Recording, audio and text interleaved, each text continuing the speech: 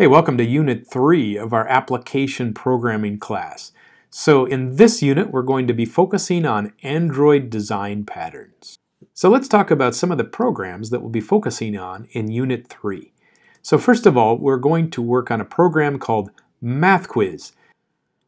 So MathQuiz will create some problems for the user to solve. It will show a math equation and the user clicks the button to show the answer. So the point of this program is not so much that it is a math quiz, but it is a complex layout. It has a grid pattern of buttons. It has multiple text views. It has lots of constraints. And it works with a class that is in the background doing the work so that, that the, uh, the program that does the uh, layout view doesn't have to handle all of that code. We'll also talk about explicit intents. Now an explicit intent says I want to go from page 1 of an application to page 2. And so that sounds very simple, but there's a process that you need to learn called intents. It means intending to turn the page. So it's not a guarantee, but it will probably work if you program your program correctly. And so intents are coming up. And then we'll talk about the life cycle events of an application.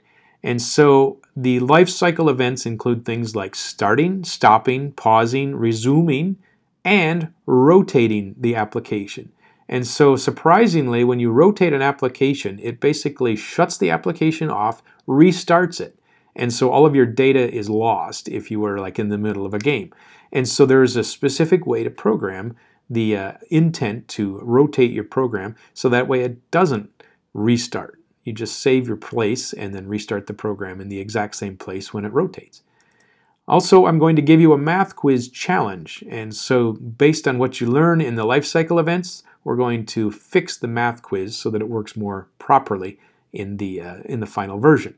And so that's what we have here in unit number three.